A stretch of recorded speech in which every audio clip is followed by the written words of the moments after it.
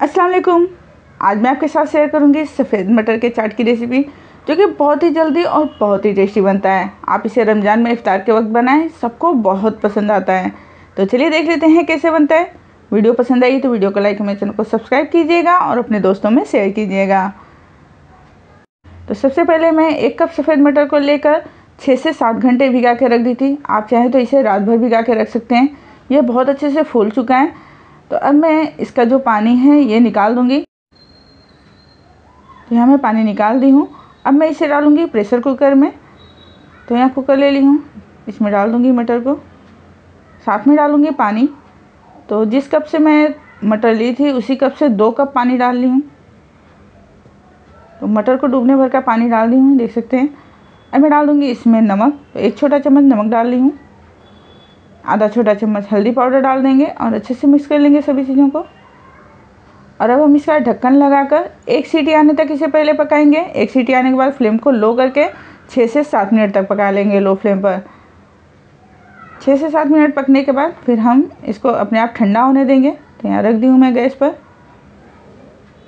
और कुकर हमारा ठंडा हो चुका है। ये देखिए, मटर हमारा अच्छे से गल चुका है। देख सकते हैं कितना बढ़िया गला मैं दिखाती हूँ इसे तोड़ के। ये देखिए मटर हमारा बहुत अच्छे से गल चुका है, ऐसे ही चाहिए। इसे थोड़ा सा चला देंगे। अब मैं इसे एक बाउल में निकाल लूँगी। यहाँ निकाल ली हूँ मैं। मैं डाल दूँगी इसमें आधा छोटा चम्मच काला नमक। आधा छोटा चम्मच डालूँगी लाल मिर्च पाउडर। आधा छोटा चम्मच भुने हुए जीरे का पाउडर। आधा छोटा चम्मच गरम मसाला पाउडर। आधा छोटा चम्मच चाट मसाला पाउडर।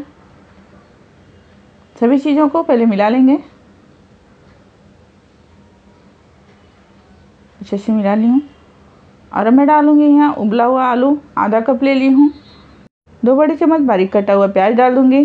दो बड़े चम्मच बारीक कटा हुआ टमाटर, एक छोटा चम्मच डाल हूँ बारीक कटा हुआ हरा मिर्च, आधा छोटा चम्मच बारीक कटा हुआ अदरक, हरा धनिया डाल देंगे और अच्छे से मिक्स कर लेंगे। यहाँ मटर का चाट बनकर तैयार हो चुका है। अब मैं इसे सर्व कर लूँगी। तो यहाँ बाउल ले ली हूँ, इसमें निकाल लूँगी। ये बहुत ही टेस्टी बनता है, आप इसे एक बार ज़रूर ट्राई कीजिएगा। तो इस तरह निकाल ली हूँ, और अब मैं इसके ऊपर से डालूँगी थोड़ा सा प्याज थोड़ा सा टमाटर, बारीक कटा हुआ हरा मिर्च, और इमली की खट्टी मीठी चटनी डाल देंगे।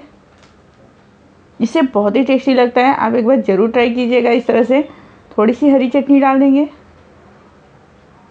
थोड़ा सा सेव डाल दूँगी। थोड़ा सा चाट मसाला पाउडर डाल देंगे। मज़ेदार सा मटर का चाट बनकर तैयार है। बहुत ही टेस्टी बनता है। अगर आप इसे बच्चों के लिए बना रहे हैं तो हरा मिर्च स्किप कर सकते हैं। बहुत ही टेस्टी बनता है। आप इसे एक बार ज़रूर ट्राई कीजिएगा। मेरी वीडियो आपको कैसी लगी, कमेंट करके ज़रूर बताइएगा। वीडियो पसंद आए तो वीडियो को लाइक मेरे चैनल को सब्सक्राइब कीजिएगा और अपने दोस्तों में शेयर कीजिएगा। वीडियो पूरा देखने के लिए बहुत बहुत शुक्रिया। मिलते हैं एक और नई रेसिपी के साथ। तब तक के लिए अल्लाह हाफिज़।